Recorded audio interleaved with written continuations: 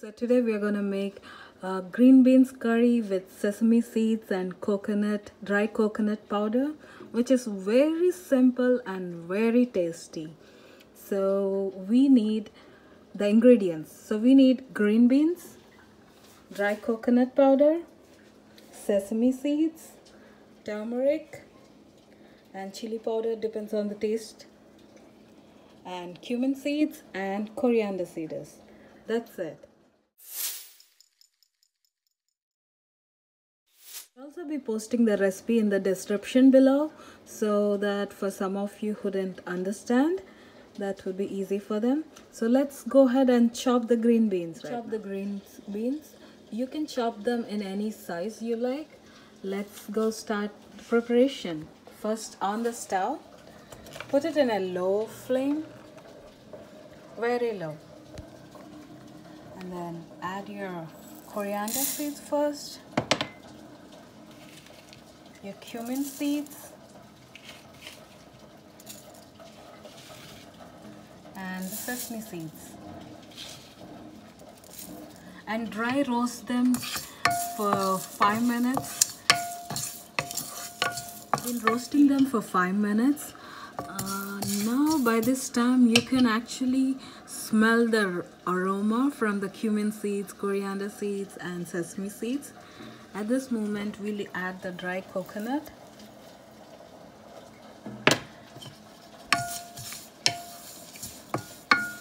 And roast it for another two minutes and switch off the flame. The coconut along with the sesame seeds and cumin. As you can see it started turning brown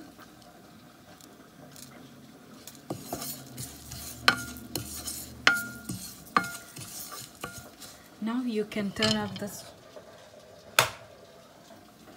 and and transfer this into a bowl. Transfer this into a bowl so that it gets cooled down first so that we can blend it. The masala gets cooled down let's go ahead and start frying the beans. On the stove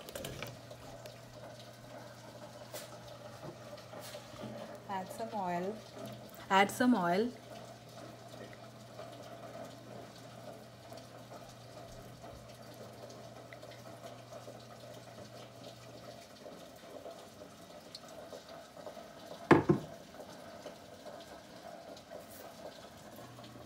Once the oil gets heated add your beans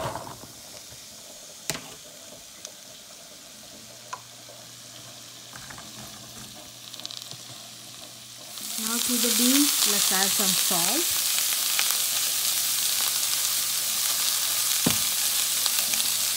And turmeric.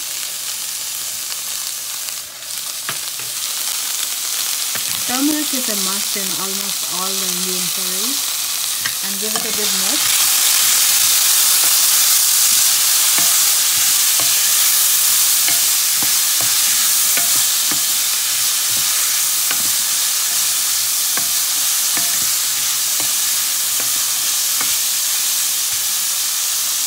Fry this for 10 minutes. The beans are being fried for 10 minutes now and beans frying the beans for 10 minutes now.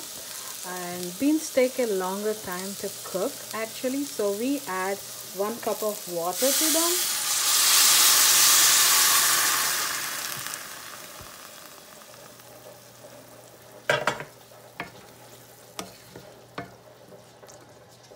And cover it with a lid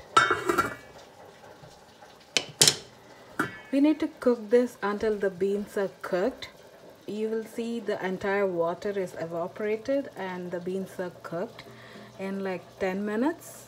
For this 10 minutes we need to keep the lid closed so that it gets cooked.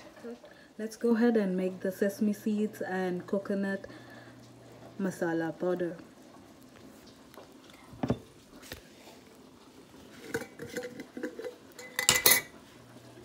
you can add some chili powder to it. If you depends on how much chili you can eat.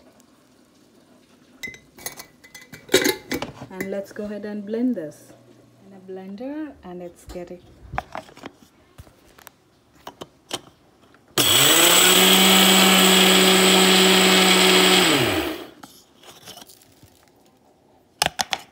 that's it. You don't need to blend more this consistency is fine.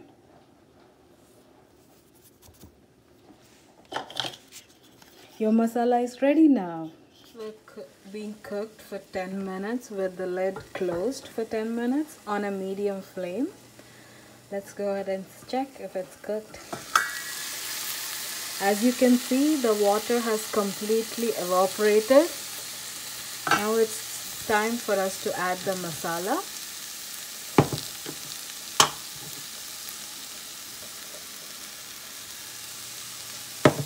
And turn off the flame.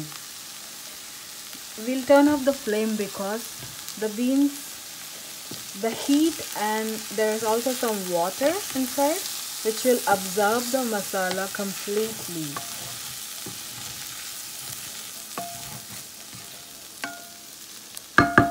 now we need to close the lid again for one minute one or two minutes and you can see the entire the masala would the beans would absorb the masala completely. As you can see I off the stove and I put a lid on it for two minutes. Let's go and see if it's ready. There you go.